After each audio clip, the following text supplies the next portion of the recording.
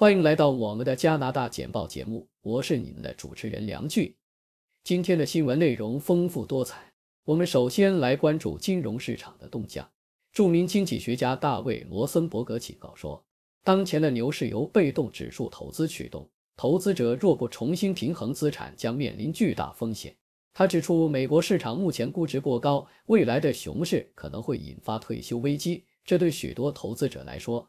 无疑是一个警钟。接下来，我们来看看加拿大的 TSX 指数，该指数本周下跌了零百分之三，百分之四点四一。一些股票已经接近技术买入信号，另一些则处于超买状态。这些数据对投资者来说无疑是一个重要的参考指标。最后，我们来谈谈科技界的新动态。Shopify 推出了一系列新的 i 工具，旨在提升商家的生产力和效率。这些新功能包括个性化回应客户邮件的 i 工具和 AI 驱动的产品分类工具，这将大大便利商家的日常运营。请大家继续收看详细内容。The Globe and Mail Dave Rosenberg 在文章中警告，当前的被动投资牛市可能会以眼泪告终，尤其是对于那些不进行资产再平衡的婴儿潮一代。他指出，尽管技术不断进步，金融产品层出不穷。但人性中的贪婪和恐惧从未改变。如今，超过百分之七十的美国家庭金融资产集中在股市中，而仅有百分之八在债券中。许多人没有选择获利了结或在平衡他们的投资组合，而这正是在历史上最昂贵的市场之一。Rosenberg 强调，股市的高估值和集中度风险极高，一旦市场下跌，流动性危机将会加剧，最终将导致退休危机。The Global Mail and PTSX 综合指数在本周交易结束时下跌了零百分之三，今年以来上涨了百分之四点四一。该指数的相对强弱指数 RSI 为三十七，接近技术性买入信号三十。加拿大公用事业公司 Emera 公司和 l i Properties REIT 是最超卖的公司，而 Parkland Corp Canadian Western Bank Cargill Tink 则是最超买的公司。Waste Connection Zinca 是唯一一个创下五十二周新高的公司，而 Rio Canal Bites in Master Corp、MTY Food Group Kinku Pintinte 和 Interfor Corp 创下了五十二周新低。The Toronto s a r h a p i s 增强其平台中的人工智能功能，在其半年度展示活动 Shopify Editions 上推出了超过幺五零项新产品，其中包括一个新的 AI 工具。可以为商家提供个性化的客户邮件回复建议，AI 还将帮助商家分类产品，建议颜色、尺寸、材料和风格等属性，以提高商品的可发现性和销售量。除此之外，Shopify 还推出了一个允许商家为社交媒体广告设置更精确预算的程序，并且只有在新客户购买时才收费。Shopify 的这些新功能旨在使其平台更加强大，帮助商家更好地扩展业务。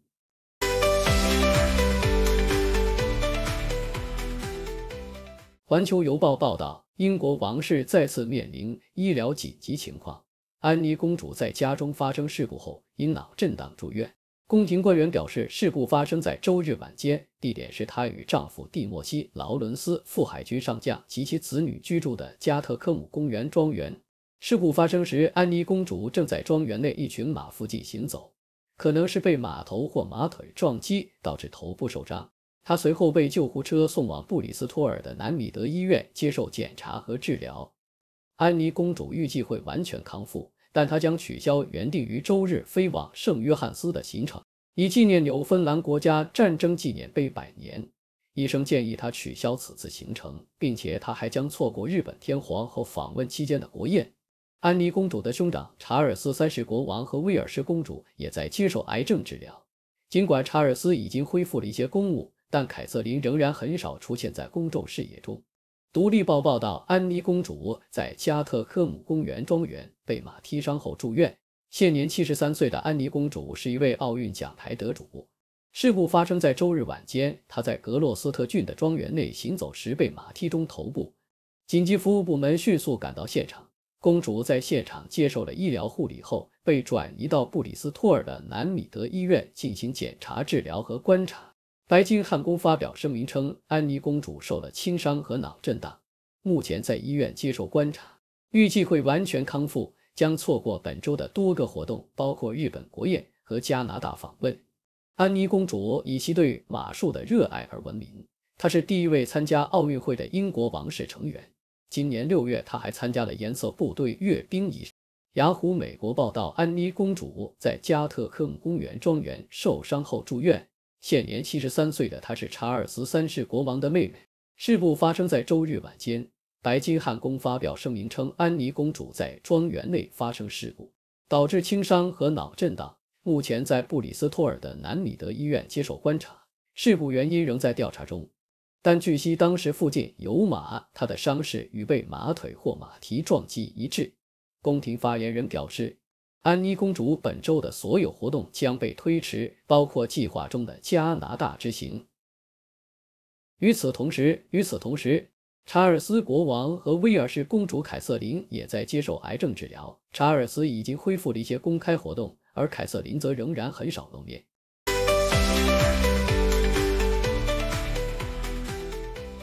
Telegraph 他说：“I am s o l i n Dion。”这 Prime 视频 Prime 视频纪录片详细讲述了这位56岁的加拿大歌手席琳·迪翁与罕见神经疾病僵硬人综合症的痛苦斗争。令许多评论家潸然泪下。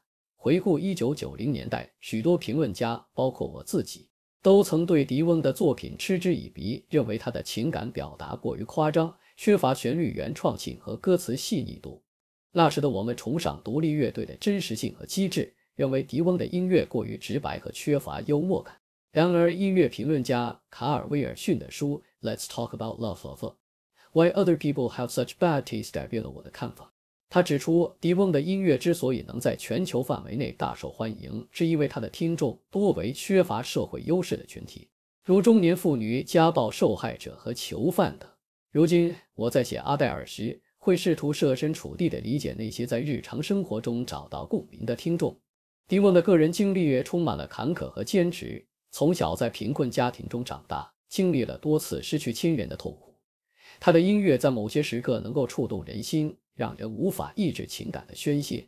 The Globe and Mail，艾伯塔省政府最新指令将在九月开始对学校中的智能手机使用进行限制。这一指令虽然细节不多，但明确指出智能手机的干扰会影响学生的学业表现。研究显示，手机的存在会让学生难以集中注意力，并且需要二十分钟才能重新集中。英国、比利时和西班牙的学校在移除课堂中的智能手机后，学生的学习成绩显著提高，尤其是表现不佳的学生。根据经济合作与发展组织 （OECD） 主持的国际学生评估项目 （PIS），智能手机干扰与学生成绩下降有明显关联，尤其是数学成绩。艾伯塔省的 PIS 数学成绩在过去二十年中下降了四十五分，相当于两年的学习损失。尽管艾伯塔省政府表示会有一些合理的健康和教育需求例外，但要实现消除数字干扰的目标，省教育部必须明确支持学校当局和教师的执行工作。尽管对政府的禁令应持谨慎态度，但在 K 十二公立学校中禁止智能手机是正确的举措。The Globe and Mail 没有加拿大资本收益税的即将上调正在改变投资者的税务收割策略。根据 s k t a k b o n 策略团队的研究，加拿大的资本收益税将在六月二十五日实施。超过二十五万加元的资本收益将按百分之六十七的比例，而不是百分之五十来计算。这促使高净值加拿大人提前进行税务损失收割，以在百分之五十的税率下锁定净收益，同时重置投资的成本基础。S k t a k b o n 团队列出了可能反弹的股票名单，包括 f e r o n i n k NextGen Energy Limited。Sonova Synergy Inc.、Tourmaline Oil 等。BMO 高级经济学家 Salguatieri 讨论了移民和国内住房市场，指出人口增长将支持住房市场，但移民政策的调整可能会使增长放缓。RBC 全球股票策略研究主管 Lori Calvasina 则认为，美国市场可能已经超前，指出市场对利率和通胀的过度乐观可能导致短期内股市的过热。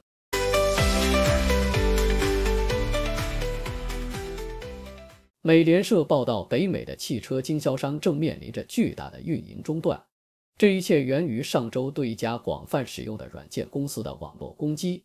CDK Global 这家总部位于伊利诺伊州霍夫曼庄园的公司，提供软件技术，帮助经销商处理日常运营，如车辆销售、融资、保险和维修。上周三的连续网络攻击导致系统关闭，影响了超过十五零个零售地点。许多经销商不得不转向手写订单的手动流程。Stellantis、福特和宝马等主要汽车公司证实，CDK 的停运影响了部分经销商，但销售仍在继续。Group One Automotive Inc. 也采取了替代流程来保护和隔离其系统，直到 CDK 的系统恢复。环球邮报报道，上周道格福特福特呼吁渥太华立即匹配或超过美国对中国人工便宜的电动汽车进口的新税。这是不可避免的，联邦政府将不得不听从安大省省长的建议，尽管这可能会阻碍联邦自由党到2035年实现百分之一百零排放车辆销售的气候目标。但在建造供应链和将加拿大中部变成电动车工业中等强国的梦想面前，这些都是次要的。这些都是次要的。美国总统乔·拜登宣布对一系列中国进口商品，包括电动汽车电池和电池组件的。提高关税，甚至将电动汽车的关税提高到百分之一百以上。尽管加拿大目前对中国电动汽车的关税仅为六，伴随着中国制造的特斯拉等电动车进口激增，加拿大需要避免成为中国电动汽车和零部件的后门市场。加拿大总理贾斯廷·特鲁多表示，政府正在密切关注美国和其他盟友的举措，并在本月的 G7 峰会期间进行了重要讨论。环球邮报的另一篇文章中，渥太华大学研究生院教授托马斯·朱诺探讨了加拿大将伊朗革命卫队列为恐怖组织的决定。虽然这一决定在理论上是合理的，但在执行上却存在复杂性和资源限制的问题。革命卫队在加拿大的活动对伊朗一加拿大人权活动家及其在伊朗的家属构成威胁，但列为恐怖组织将涉及数十万现役和前任成员，包括义务兵。加拿大已经难以履行现有的制裁承诺，更不用说新的广泛制裁了。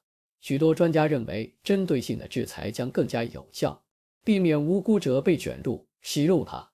加拿大的国家安全机构已经人手不足，难以应对日益增多的威胁。长期以来，加拿大在国家安全、外交和国防政策上缺乏连贯的战略，往往是出于国内政治压力而做出反应性决策。而不是基于对威胁环境的理性评估。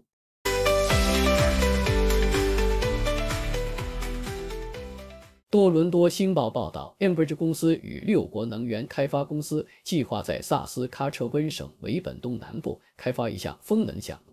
六国能源开发公司由 c a v i s Guys Gordon Commercials Bear 等原住民和梅蒂斯民族组成的联合体。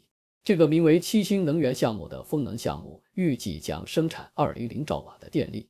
Enbridge 公司将通过其全资子公司开发、建设和运营该项目，并且原住民和梅蒂斯合作伙伴有机会获得至少百分之三十的股份。Enbridge 公司正在与 SAS Tower 公司商讨长期购电协议，以支持预计在2025年做出的最终投资决策。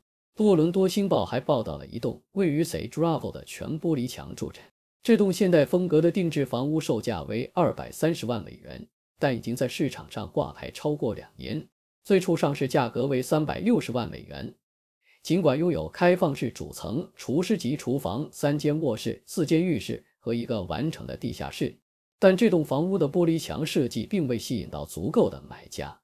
专家表示，尽管玻璃墙在上世纪九零年代开始流行，并在过去十年中逐渐成为一种趋势。但在多伦多的寒冷冬季，这种设计仍然是一个小众市场。房地产经纪人和设计师指出，尽管玻璃墙可以提供自然光和美景，但其保温性能较差，导致冬季取暖和夏季降温成本较高。此外，隐私问题也是许多潜在买家的顾虑。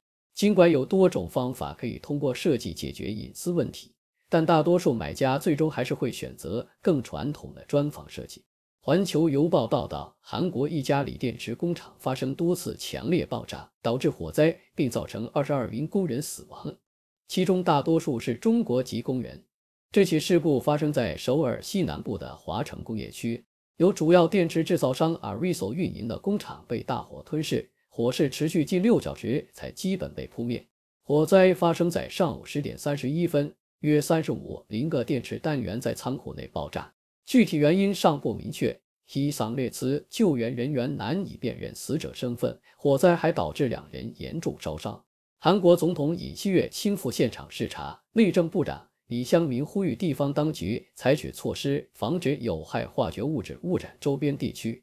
a r i s o 成立于二零二零年。主要生产用于传感器和无线通信设备的锂一次电池，拥有四十八名员工。专家指出，由于电池材料如镍的易燃性，火灾蔓延迅速，工人几乎没有逃生时间。此外，工厂使用的极其有毒材料可能也是导致高死亡率的原因之一。韩国近年来努力改善安全记录，但每年仍有数十名工人在工业事故中丧生。促使议会通过了一项法律，旨在对公司高管在发生致命事故时施以可能的监禁刑罚。韩国也是电动汽车锂离子电池的主要生产国之一，并且其第五大汽车制造商现代汽车集团正大力推动从内燃机车向电动汽车的转型。谢谢您的收看，上面播报的内容是六度团队推荐的全球专业媒体、智库、政府机构和行业专家的最新报道分析简报。